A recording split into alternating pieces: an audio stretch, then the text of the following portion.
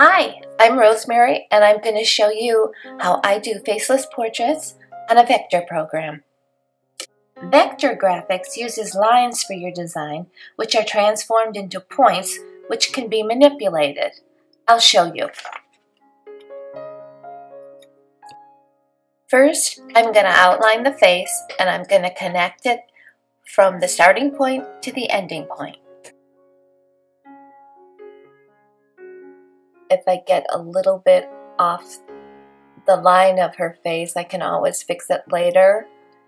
I joined the lines together and I've done a fill and now I'm going to check for sure whether it's the dots are in the right place. Having the color in there kind of helps me see her face and when I get it right, then I'm done. Right there it was a little bit big. Now I think it's pretty good.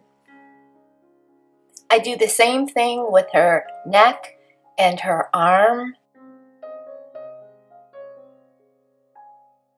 And then there's a little patch of skin on, on her one side, below her arm, above her dress. I outline and then I fill.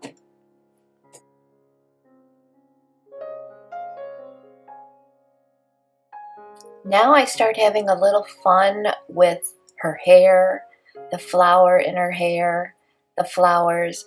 I use a brush for those things.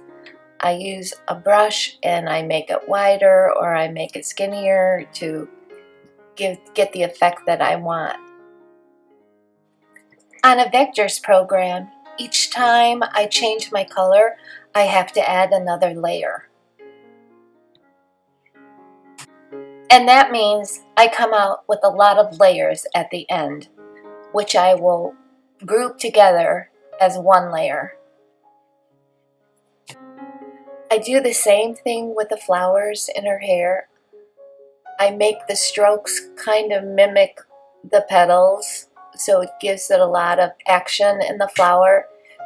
It makes it a cute little accessory on her. The strokes are a contrast to the solidity of her skin they make a cute accessory and they make her skin stand out. I'm also going to brush in the top area of her dress because the area is so small and it will be easier for me to do that. Plus there's a little bit of a shadow on there that it will be easy for me to brush in. I'm doing the same with her dress. I'm going to outline it and the dots will come up and I'm going to do fills. And then later on, I'm going to put some brush strokes in the dress to give it a little bit of movement to show the the the uh, fullness in her dress.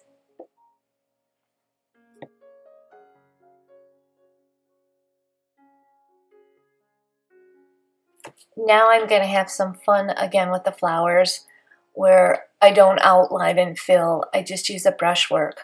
I have a Wacom tablet and it has a pen that is pressure sensitive.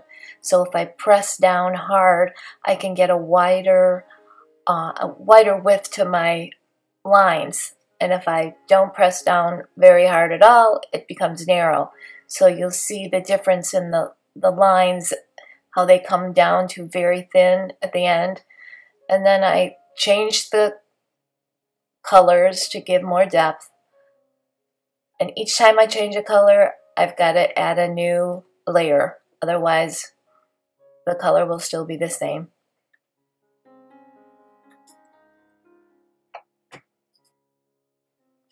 I treat the flowers here in her bouquet like I treat the flowers in her hair. I go along with the movement of the petals with my brush strokes and just have fun with it.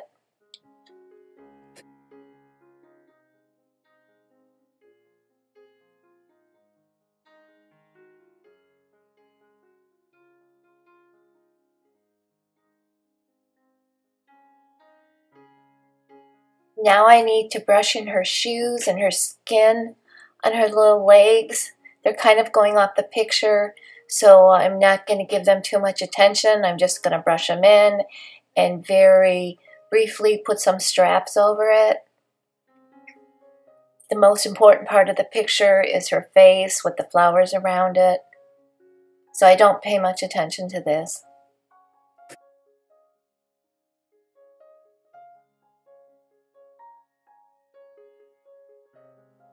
I'm treating her hand the same way that I do the rest of her skin, where I'm outlining it and filling it, but there's two sections of her hand. One is in the light and one is in the shadow. So I outline each one individually and fill it each fill it individually because the one in the shadow is darker than the one in the light.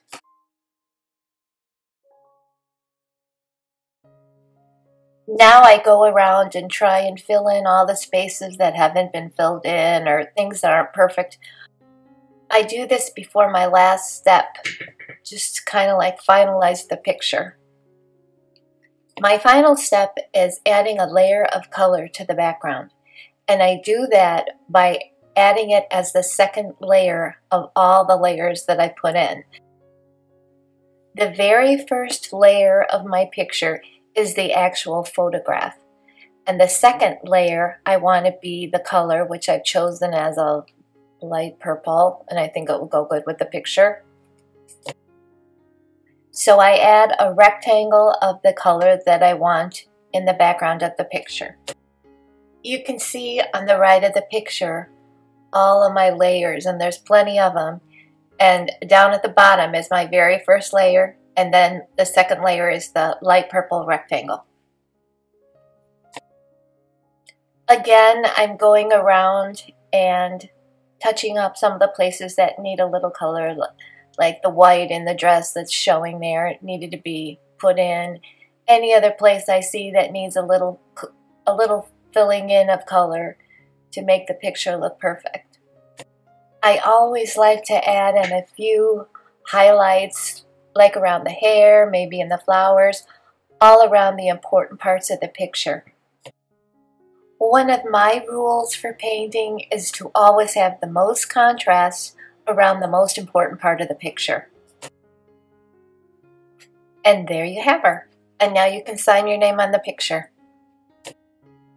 If you've enjoyed this video, please tell me some other things that you'd like to see me draw and please subscribe with the button below. Thank you.